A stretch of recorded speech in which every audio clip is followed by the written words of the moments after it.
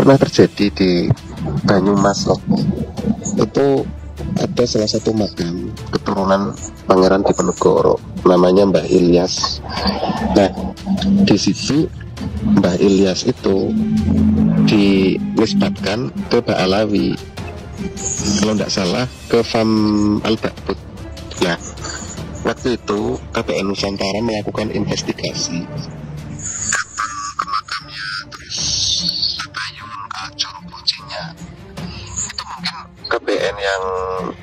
waktu itu sampai sekarang kan pro ya Imad. Itu ekspektasinya kan yang membawa Alawi kan itu dari kalangan Pak Alawi. Tapi ternyata pelakunya itu bukan dari kalangan Pak Alawi. Si kuncennya itu di channelnya Nusantara pun itu menyebut bahwa pelakunya itu Sohibul Faruz Faruji. Nah pelakunya itu kan sudah jelas karena ekspektasinya itu pelakunya Pak Alawi kok ternyata bukan Pak Alawi. Akhirnya kayak istilahnya apa ya? Yang tadinya menggebu-gebu mengejar pelakunya akhirnya kan dibiarkan karena pelakunya dengan yang melakukan invest- investigasi ini satu frekuensi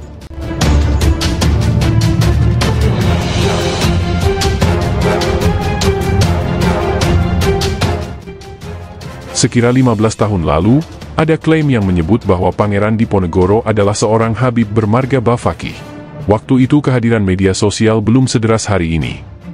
Enam tahun kemudian, untuk kali kedua, ada sebuah blog dan foto yang berisi klaim kehabiban Pangeran Diponegoro lagi. Hanya saja, di kali kedua itu, marganya bukan Bafakih, tapi bin Yahya. Sekira setahunan lalu, terdapat tautan berita berisi klaim kehabiban yang sama. Setelah mengecek tautan itu, ternyata sang pangeran tidak bermarga bin Yahya maupun Bafakih, melainkan Ba'abud. Baru sekira tiga pekan lalu, didapati artikel berformat PDF yang cukup panjang dan berisi klaim atas kehabiban pangeran Diponegoro. Bedanya, di kali yang entah keberapa itu, pangeran Diponegoro disebut bukan bermarga bin Yahya, Ba'abud, dan Bafakih, melainkan Alaidrus. Dan yang menjadi pertanyaan yang paling penting adalah, siapakah pelaku yang membalawikan pangeran Diponegoro dan keturunannya? Dalam sebuah rekaman yang sudah bocor dijelaskan, bahwa pelaku pembalawian pangeran Diponegoro dan keturunannya bukanlah oknum Baalawi, akan tetapi pelakunya adalah Syohibul Faroji, ketua Robitoh Azmat Han, yang juga merupakan keturunan dari Sunan Kudus dari jalur ayahnya, dan keturunan dari pangeran Diponegoro dari jalur ibunya. Jadi yang membalawikan Pangeran Diponegoro dan keturunannya, serta ulama-ulama dan tokoh-tokoh besar Nusantara lainnya bukanlah Baalawi, akan tetapi keturunan mereka sendiri yang membaalawikan. Hingga akhirnya mereka sendirilah yang menulis di makam-makam leluhurnya itu sebagai seorang Habib Baalawi. Berikut ini kami tampilkan hasil bocoran rekaman pelaku pembaalawian Pangeran Diponegoro dan keturunannya oleh Syohibul Faroji. Saya mau nanya nih, Bang. Silakan, silakan. Ya, terkait masalah eh, yang ada di beredar di medsos terkait masalah makam pemalsuan makam pemalsuan data segala macam itu apakah benar atau tidak itu hanya framing saja atau bagaimana bang? aku boleh menjawab dahulu nggak ini ketua Bib Samil Siap, komandan. Siap, silakan, Bang. Iya. Iya dulu itu ya sebenarnya pertanyaan ini terus mengenai jawabannya sudah berulang-ulang di room ini. Cuman enggak apalah biar istilahnya makin banyak yang paham. Itu kan pernah terjadi di Banyumas lah. Itu ada salah satu makam keturunan Pangeran Diponegoro namanya Mbah Ilyas. Nah, di situ Mbah Ilyas itu dinisbatkan ke Pak Alawi kalau nggak salah Kevin Ibadut nah waktu itu KPN Nusantara melakukan investigasi. Datang ke makamnya terus tabayun ke juru kuncinya. Itu mungkin KPN yang waktu itu sampai sekarang kan pro ya Imad. Itu ekspektasinya kan yang membawa Alawi kan itu dari kalangan Pak Alawi tapi ternyata pelakunya itu bukan dari kalangan Pak Alawi si kuncennya itu di channelnya KPN Nusantara pun itu menyebut bahwa pelakunya itu Sohibul Farus Faruji. Nah, pelakunya itu kan sudah jelas. Karena ekspektasinya itu pelakunya Pak Alawi kok ternyata bukan Pak Alawi. Akhirnya kayak istilahnya apa ya?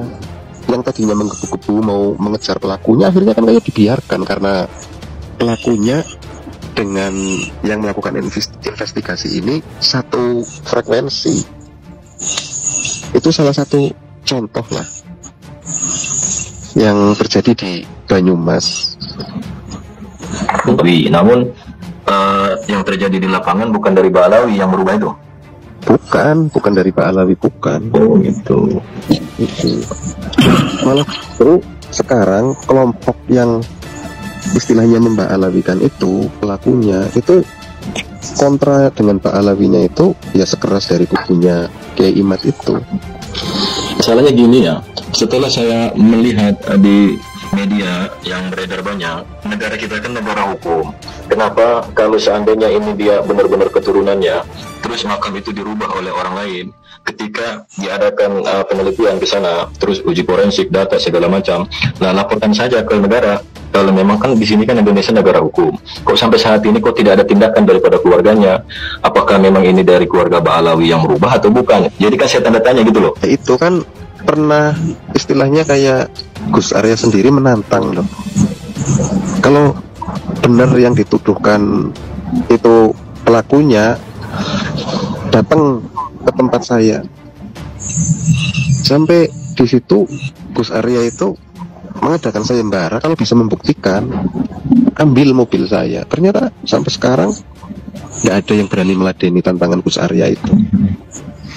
Mengenai ini apa kayak makam terus pembelokan sejarah ke Pak Alawi ini masalah pemalsuan makam dan lain sebagainya itu tadi Gus Arya sudah menjelaskan.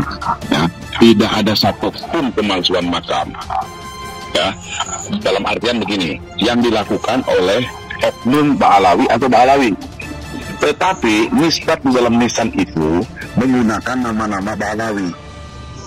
Kenapa? Karena pada saat oh, kemarin-kemarin dan sampai hari ini banyak orang yang meyakini kalau dinamakan dengan nama Habib atau nama Said dari Balawi itu makamnya jadi Banyak sehingga sehingga.